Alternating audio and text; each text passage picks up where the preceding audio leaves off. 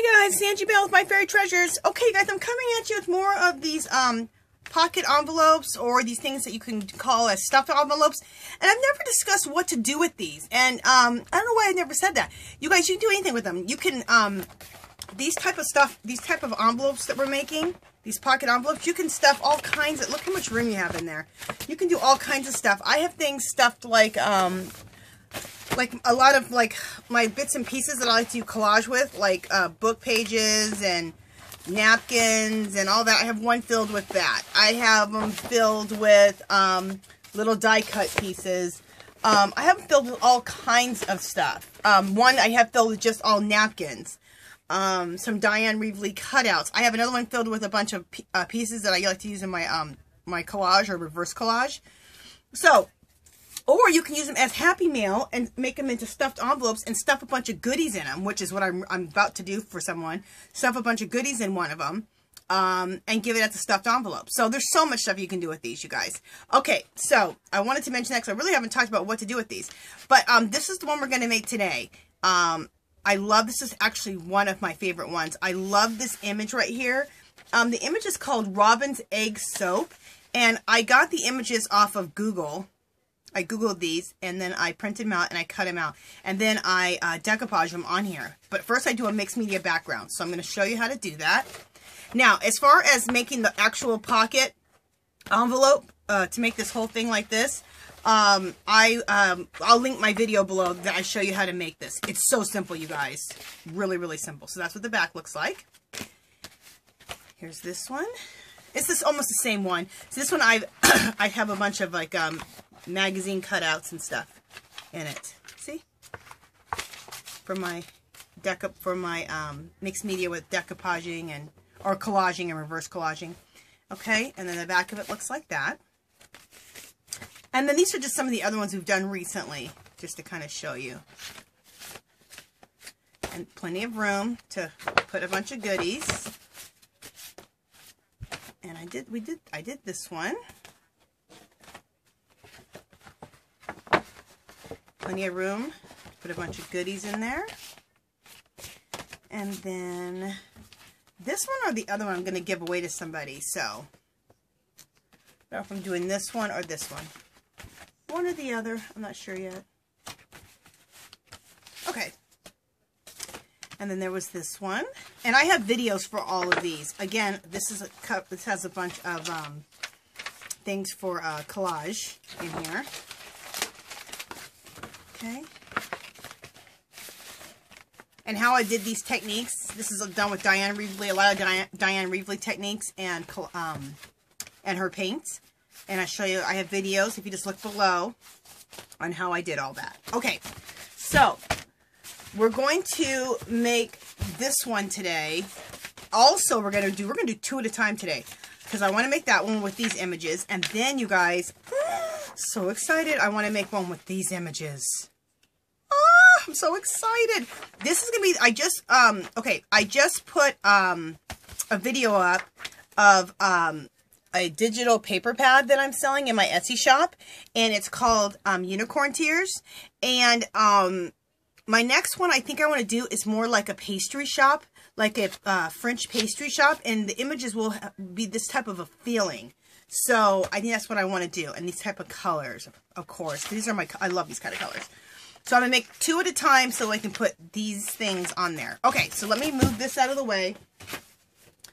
Um, let me come out with my camera a little bit more. Okay. Okay, so I have two of these done. I got to move my drink. I have two of these um, pocket folders done. Here's this, here's this, here's the little pocket folder right there. Let me turn it this way so you guys can really look at it. So here's the little thing where you can stuff everything in. Okay, so what I did first, and I did it to two of them. So I have one, and then I have another, okay? So, so I can work two at a time. Um, I like working two at a time, you guys. You get, it's double the fun, and you get double done, okay? So, um, what I did first is I, um, collaged on here um, everything. Book pages, um, some really cool paper of another language that I'm not really sure about. But I found this book and I collaged that on. Um, music note paper and I also did map some map stuff I got from Hobby Lobby, and then we did some napkins. And what I do is I put it all on with um, Elmer's glue, watered down. I don't put it on top just because I don't want to seal it on top, right? I did seal it on top of the napkins. So we're doing a little bit of a, we're doing a little bit of a, um, a test. Because what I did then, then what I usually do is I put matte, uh, matte medium on the whole thing, right? Well, I'm not doing that anymore because I discovered that clear acrylic matte coating is the same thing as matte medium. So after I got done doing all of this, I clear coated both sides with clear acrylic matte coating. Okay, and this one is by Treehouse Studios, and I got it at Hobby Lobby. But any clear acrylic matte coating will work, I'm sure. Okay, so I did that there, and then I did that on the on the other side.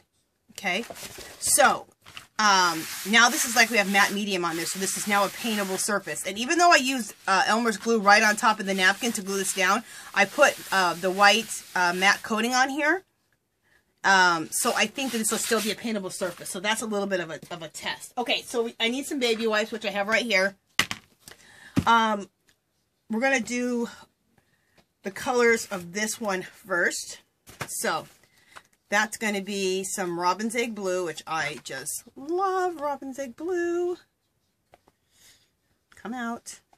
Is this... Oh, you know what? Oh, man. That has paint on it already.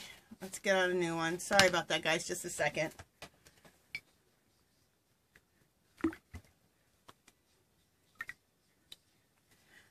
I'm going to have to remove that. Just a minute. Okay, before it gets into the white glue. Okay. Alright, there we go. Throw that over there. So we have this paint here. Um, we need this. This flesh. It's called Flesh. I like to get my paints from Michael's, especially when they're on sale. These Craft Smarts, when they're three or two or three for a dollar. When they're three or four for a dollar, I would go in and buy a bunch if I was you and get three colors deep.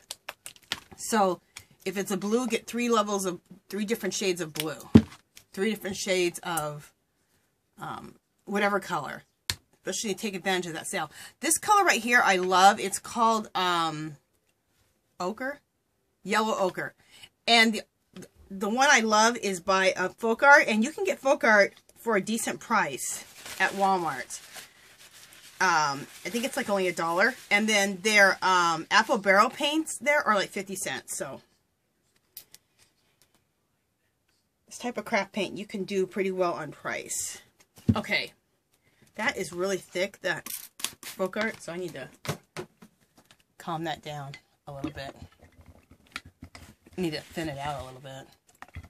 Just a second. Thin that out a little bit. Some water.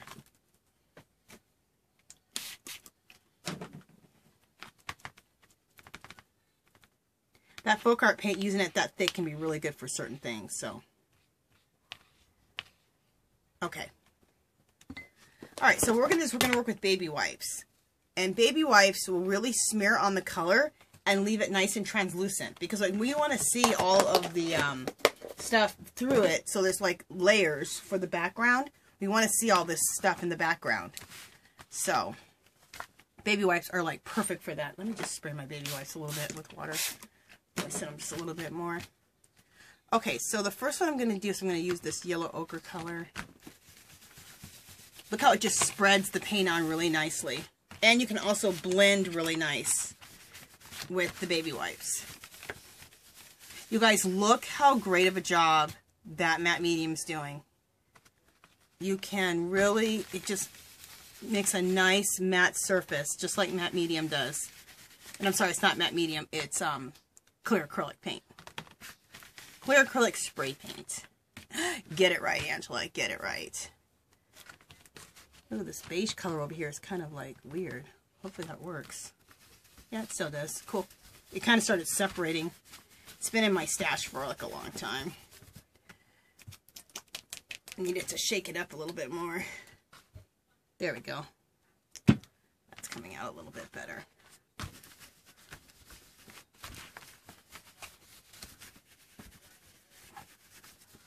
Okay, and we'll throw a little bit more blue here. And we'll throw a little bit more of this, this color right here. Okay. So I think that looks really cool. And let's do the other side. Hopefully I've been in frame the whole time. Yes, I have been. All right, let's just see what, what paint I have left on here. Yeah, I don't have enough on here. Okay, let's see what we have left on here. Add a little bit more.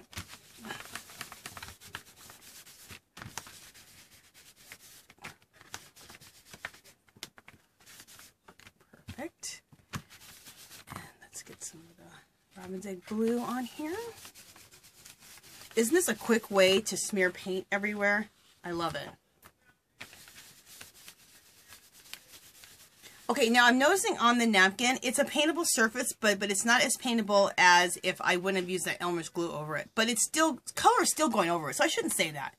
It still works, so it still works good. Yeah, it does. Never mind. So if you decide to do that, use the Elmer's glue to decoupage your napkin and then put the clear acrylic paint over it, you're still going to be good. Okay.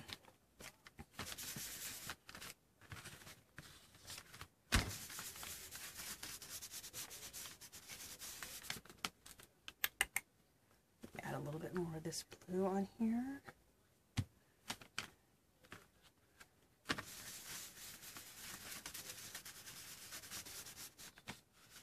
Okay, and then we'll add this color right here over here. Oh, you know what? I just did this to the wrong one. I wanted this stuff to go on the pink one. Oh well. Sometimes you mess up. Because see how there's pink in here? I wanted that to go on the other thing. Jeez, Angela, sometimes. Anyway, we'll keep going.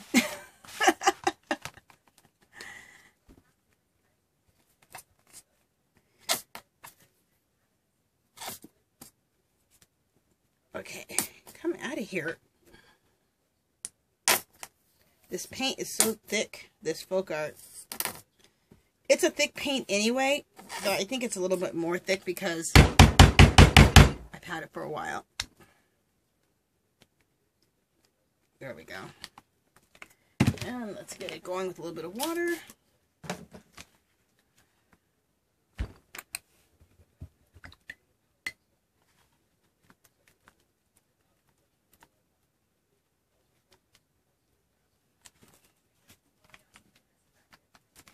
Okay, and we need a little bit more of this beigey color.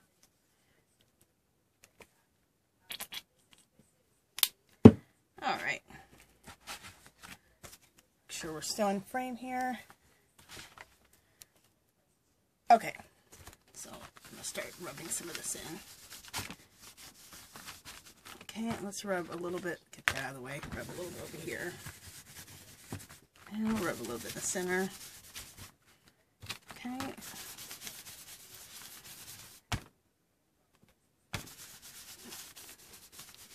I love this technique with the baby white because it keeps it um, keeps the paint translucent so you can see through the paint so you can see what you have underneath it. Because we're creating a really pretty background and it looks pretty to have like like stained paper you know? You're not covering it up um, with the acrylic paint completely. You're just adding color to the to paper and still letting it see the images below, which is going to give us a really nice background. So just remember, this is a great technique for a lot of things when you're doing mixed media. Just so you can have layers. The lighter coats of paint where you can see through them, it gives you more layers, which gives you a more um, in-depth background. And why am I not working on my, um, I need to be working on this one surface. Well, we'll do this for now. I have a shelf liner that I like to work on so I don't get this all messed up. Kind of too late for that. Okay. I just realized it right now. I'm like, what am I doing?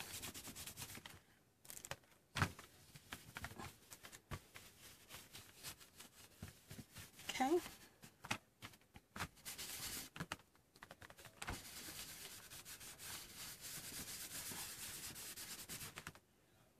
Put a little bit of this yellow right here. Okay. Put a little bit of this yellow here. It's not really yellow, like I said, it's called, well, it's yellow, yellow ochre. I love it.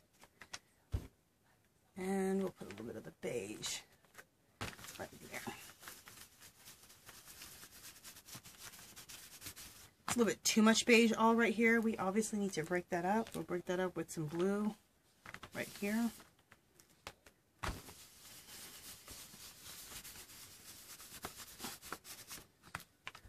And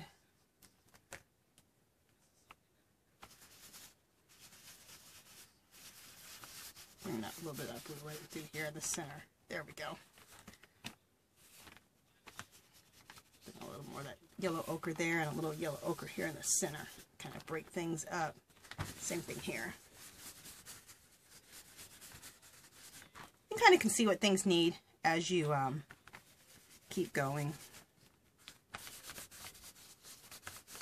Okay. So that's what that looks on both of those sides. Okay. So now we're going to do our second one. And I'm going to pause you guys, pause it while I get the paints ready and while I get my um, shelf liner on this table. So I will be right back.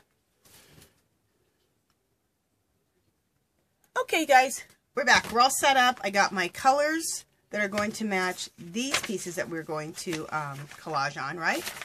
Okay, on the other one. And I got my baby wipes. Let's work for my palette over here. And when you spray that um, that acrylic matte um, coating on here, um, make sure you just do it outside because it has a, it, you know, it's a spray paint, so it has a smell. Like I still smell it right now. kind of strong, but it's fine. This is if you want a dupe for matte medium because the cost of matte medium just gets like so crazy. Um, and I've heard a lot of people complain about that price. I mean, there's no reason that they need to be charging the price they charge for matte medium. It's like ridiculous. Um, but they do. So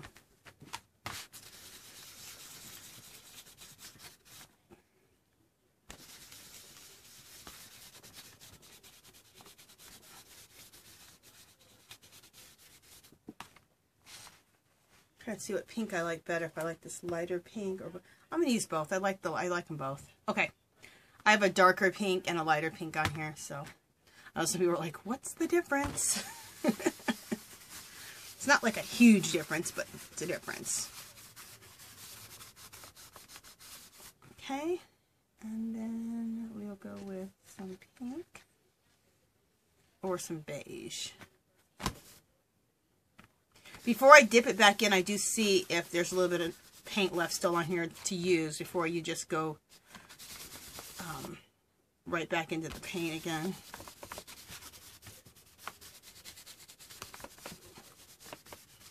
And if you want, with because you're using this baby wipe, you can blend the colors into each other. So that always looks really cool too.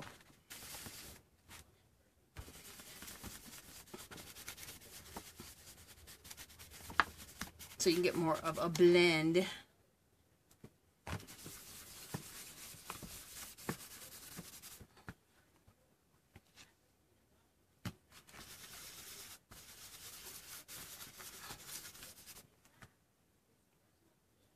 Um,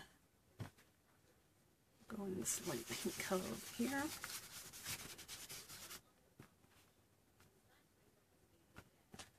Um, Trying to think of which way I want to go now. Okay, we'll go with the beige color.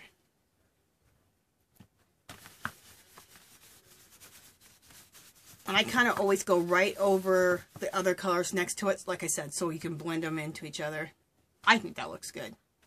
You can do it however you want.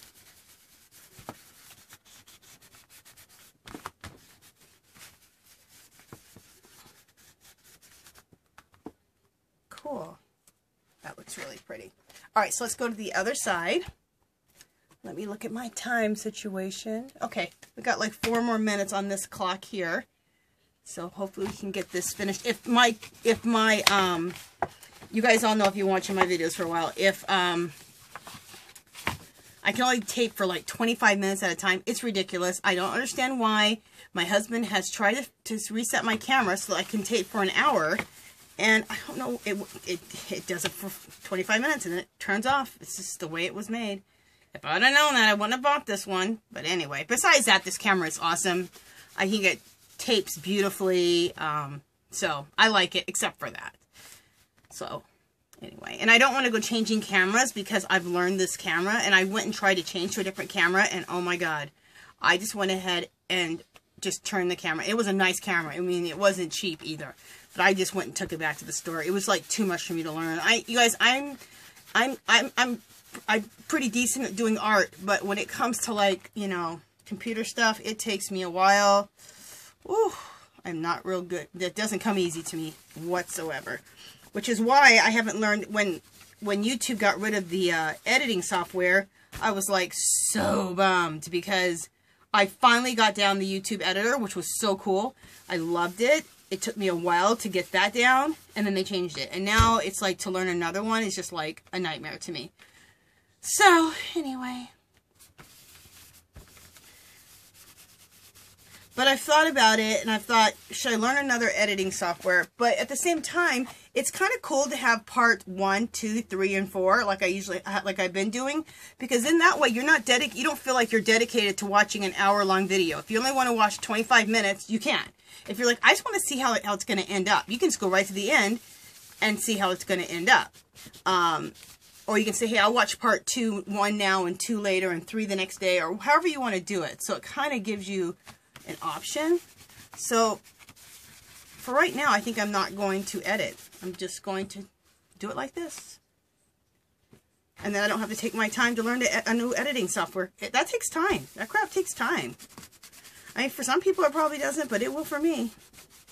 Also, to get the sides, like right here, because this is like where the, you can just take your uh, baby wipe and just wipe it inside of there just to get that part done. Um, and there's some people on YouTube that, even crafters, they absolutely love the editing process. Like, they think it's so fun. I liked it for YouTube. Once I learned it, I loved it. I thought it was fun.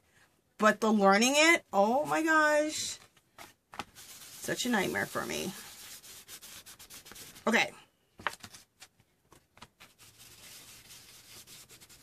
We all can't be good at everything. That's one thing I'm not good at. Computer crap. Okay, so you guys, we're going to go ahead and go to part two. Um, and I'm going to dry all these. So now we have two of these done. Isn't this cool working like this, two at a time? Especially if you're doing stuff for gifts. Um, then you're getting um, two gifts done at once. And one of these are going to be a gift. So anyway. All right. I will talk to you guys in the next one. So go ahead and head over to part two. See you in a minute.